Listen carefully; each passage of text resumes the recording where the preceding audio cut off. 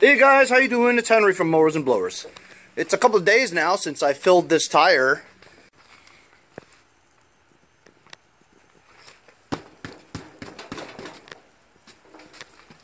Still holds air, guys. With pressure on it, too.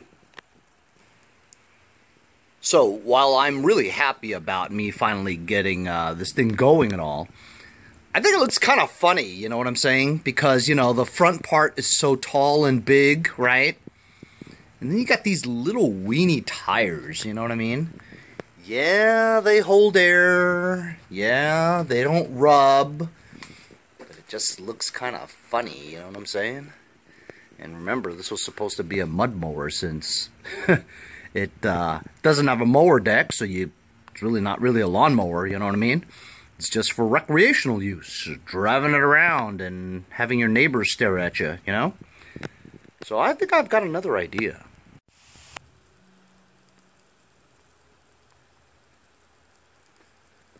Got my old John Deere RX-75 rear engine riding mower transmission out.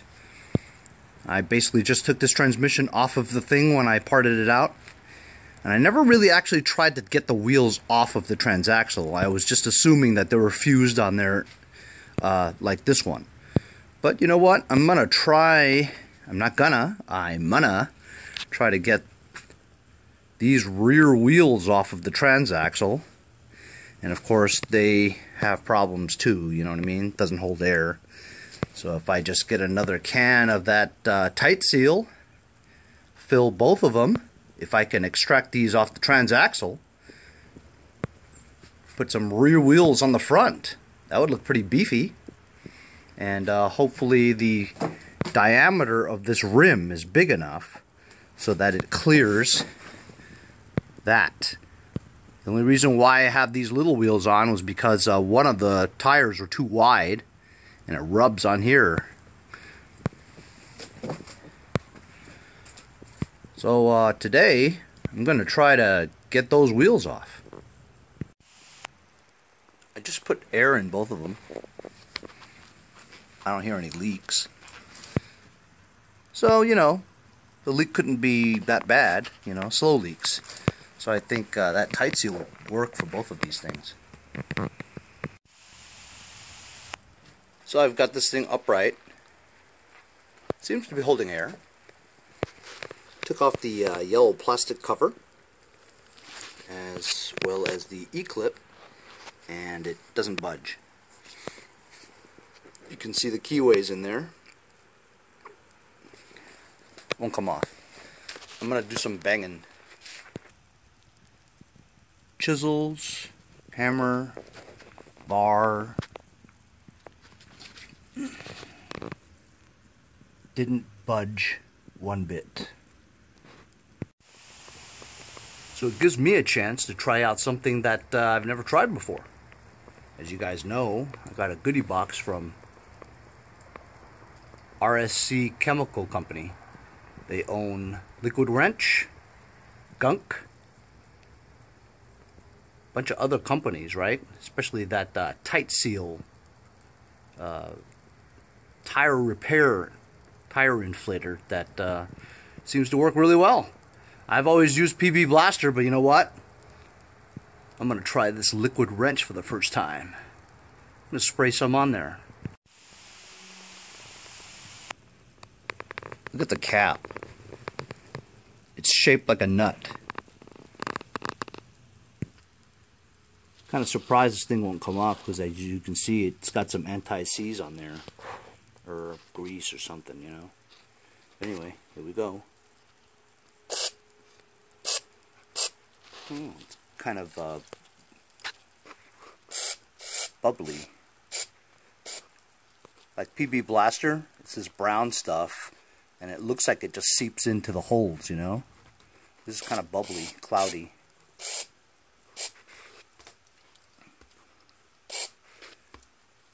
I wish I could extract the keyway because then I could use the keyway area to, you know, get fluid down into the canal.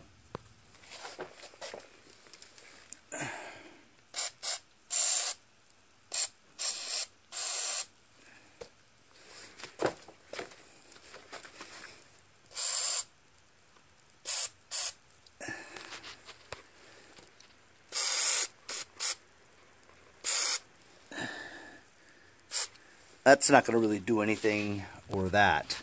Main part is this part here because gravity's pulling it down, you know. But doesn't hurt to do a little bit. So I'm going to let that uh, percolate a little bit. Just flipped it over. I'm going to do the other side.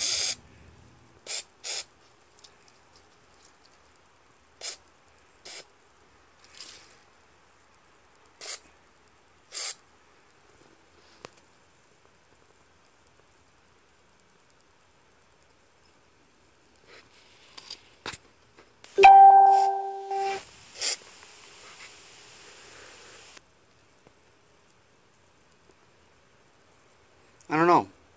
Just from looking, I feel like the PB Blaster, when you blow on it uh, or shoot it on there, it uh, looks like it seeps in more, or it appears to seep in more.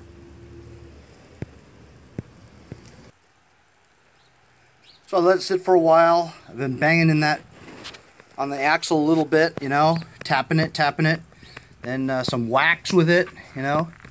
Looks like I'm starting to make a little bit of progress. If you'll look uh, over here, you'll see that it moved like a millimeter upwards. See that spacing there? So it is moving. So far, I think uh, might have some kind of success. It's moved so much that you can't see that groove where you're supposed to put the uh, the E-clip in there, you know? So it's moving upwards by about a millimeter. So we're making some progress. I'm going to spray some more on there and let it uh, percolate for a bit. So it's been a couple of days. Every few hours or so I'd come out and spray it a little bit more. I was banging and banging and banging and it looked like looks like I made that uh, axle mushroom out a little bit so it's not going to come off. I took a grinder to go around it so it doesn't mushroom so it will come off. I actually put this on top of uh, two handles. One was a welder cart and another was a power washer. Started banging with that one. Even with the five pound sledgehammer, it just made the axles, uh, you know, mushroom in, mushroom out. Therefore, keeping that on there longer, you know. But I would come out here every uh, few hours whenever I'm in the garage and spray some more liquid wrench penetrating oil into the uh, keyway in that entire area as well as the bottom part here where it's actually you know gone down a little bit and uh, gives me a more better uh, area to spray it. But I, it's not coming off man. I mean it's not budging anymore. You know that's it you know. It's got like a millimeter of the axle sticking out. Won't budge from there. I haven't tried anything other than uh, the penetrating oil you know the liquid wrench one um, I mean, it, it moved it maybe half an inch upwards. Same goes with the one on the bottom. But I don't think just uh, penetrating oil alone and banging is going to do it. I might have to do some uh, a heat application to it with the torch. But, uh, you know, I, I gave it a try. I mean, some things are just not meant to move around, you know what I'm saying? But uh, just for shits and giggles, I'm going to try uh, my go-to thing. I'm going to try some PB Blaster in there and see what happens. Just sprayed some uh, PB Blaster, but that's not penetrating oil, it's just lube. I didn't have any more PB Blaster. Uh, anyway, incidentally, um, this one actually holds air after three days of pumping it up with nothing in it. This one,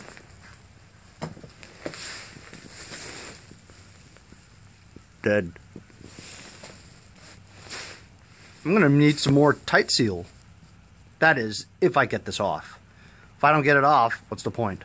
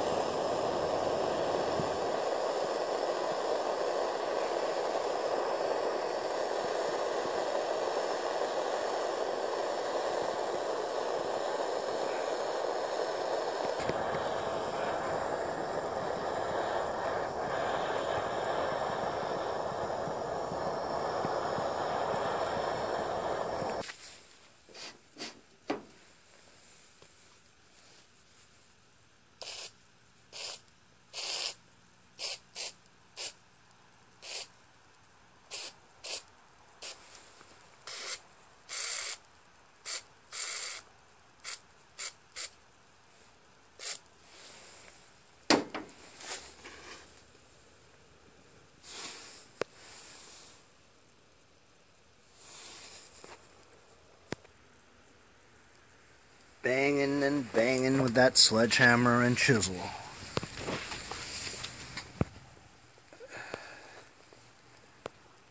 Not budging, man. So this is the other side. I managed to uh, sledgehammer that um, another millimeter or so. It did go down a little bit. But then it started to mushroom again, you know, the axle, which prevents the wheel from coming off. So I took a grinder, my newly fixed grinder, might I add, just to uh, smoothen out the edges so that it would come out. I'm Gonna bang it a little bit more, but honestly, guys, I don't think this is gonna work. Listen, uh, so obviously I'm reviewing Liquid Wrench, right? Sometimes, you know, there are just things that uh, it's not meant to do, meant to be, you know? Liquid Wrench is designed to take off uh, rusted bolts and nuts and stuff. Um, not, not, not really uh, wheels off a transaxle. You know, that's a tough task. You know, it's always been a tough task. If you guys have tried to take a wheel off of a rusted uh, transaxle, you'll know what I mean. I've pretty much tried everything except for uh, flywheel puller, which I do have, but this one doesn't have holes put the uh, studs through. I mean, theoretically, I could drill two holes there and uh, stick the stud through and put nuts in the bottom, but you know, if this is not meant for it to have that, I don't want to ruin the structural integrity of the wheel, which completely uh, defeats the purpose of me using a wheel. You know what I'm saying? So I'm going to bang it some more, but uh, the liquid wrench did get it to move about uh, three quarters of an inch off. It's just that ending right there that you just I just can't get off. You know, won't come off, won't budge. I guess if I could push it back down again and use some more of that liquid wrench on there and then try to bang it all over again, I mean, maybe that'll work. I'm going to try that. I banged it back down again, maybe two millimeters. It's at the very end now. I'm going to liquid wrench it again and try to bang it back out. use the chisel. And I've gotten it uh, up to that point again. Just won't go anymore you know? I mean at this point I've damaged the transaxle already. If I was gonna ever use this transaxle again I'd have to uh, weld the wheel on you know? I don't think I'd have any trouble though because uh, you can't even get the wheel off. If you put a wheel on here I'm sure it'll hold there. Of course, I've uh, now mushroomed it again, you know.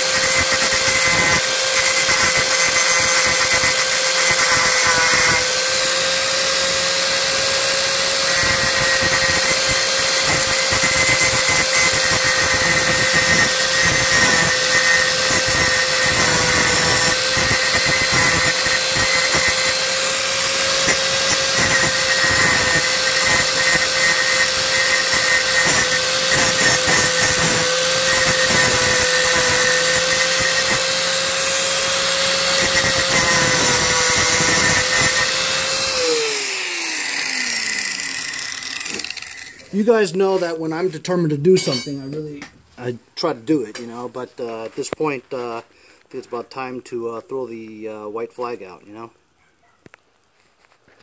I was like, screw that, man.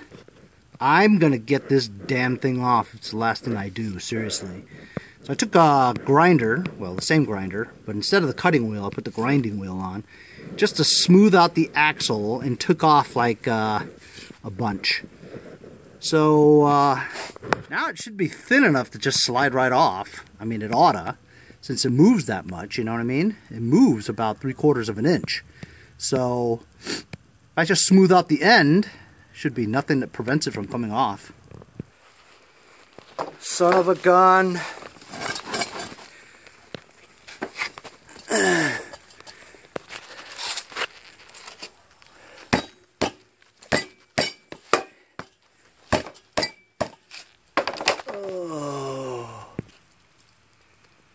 Success! Success! I tell you, success!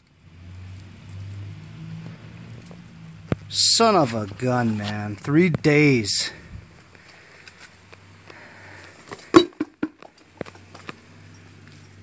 Oh my god. See what I did there? End of that of that uh, transaxle is thinner than the rest of the transaxle. That's what was binding it on there was that when you bang it, it mushrooms out so it prevents it from coming out until you grind it smooth again, you know?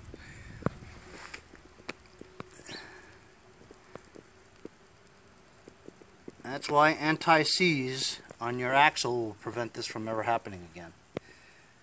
I guess this uh, transaxle is still okay to use if you had to, you know.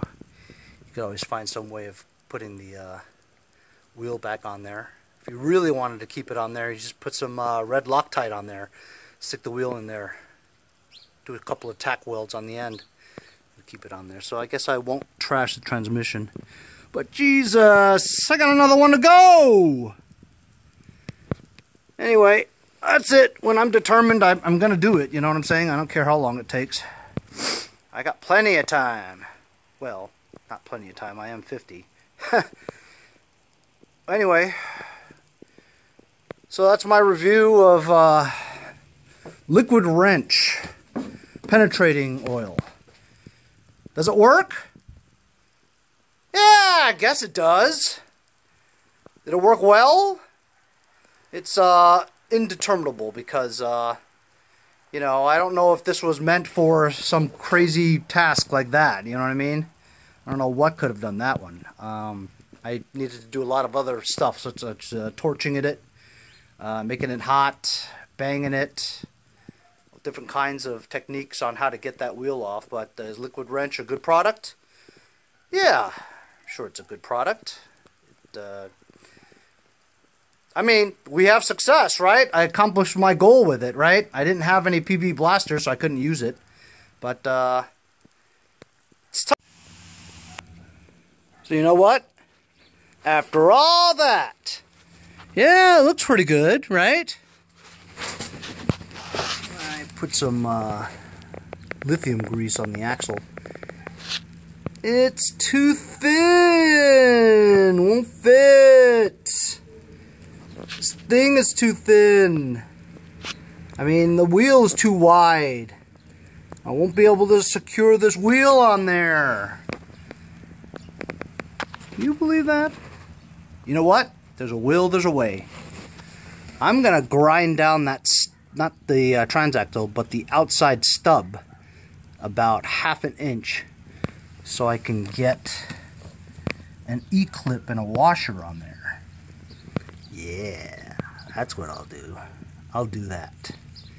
Anyway, that's what I'm going to do on my next project. If it kills me, I'm going to get that wheel off that axle and put it on this thing. If it kills me, I'm going to do it. Wait, so I'm just grinding down like a half inch of steel.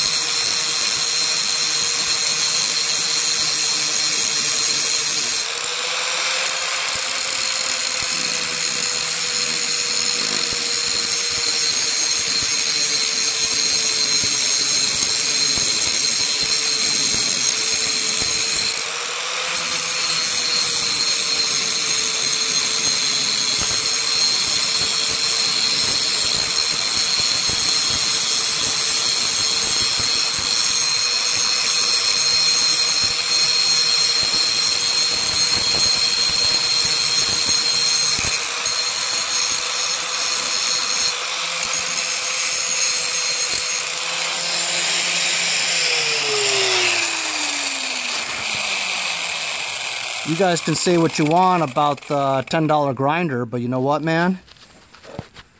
Gets the job done. Let's see if it fits on here now. So I grounded a half an inch down and I was able now to put my washer and E-clip on there. But it's a little tight, you know. Doesn't spin as good as I want it. I'm going to try my other product here that I got from RSC Chemical Company. Uh, one of the companies called Liquid Wrench. Liquid Wrench is like uh, PB Blaster. So this is the uh, penetrant and lubricant, kind of like WD-40 with PB Blaster mixed in, you know what I'm saying? So uh, it has one of these things here. Focus. Damn it. There we go. Press for lock. Neutral, I guess, and then squirt.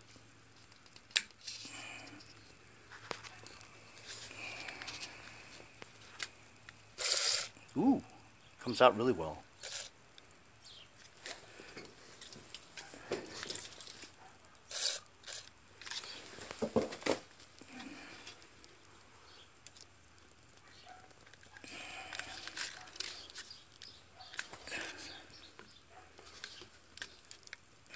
why it doesn't come out anymore.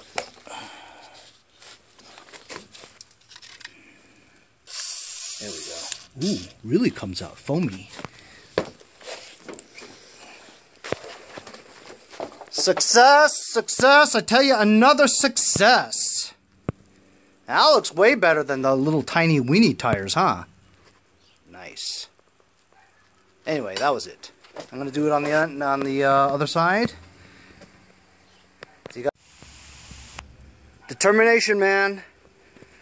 Got it done. Got the John Deere RX 75 rear tires off and put them in the front. Grinded down a half inch of steel off of the uh, hub and uh, got it to fit with the E-clips. It looks much nicer now. Much more beefier. The uh, Tite-Seal on this side, it's been four days, almost five days since I put tight seal in here. Look at that. Still holds air. Fantastic. Anyway, that's the conclusion of my uh, LTV 10 Craftsman Vera, Vera Drive lawn tractor to mud mower sorta conversion. Alright, see you guys next time on Mowers and Blowers. Thanks for watching, everybody. Follow me on Instagram at Mowers Blowers. See you guys next time.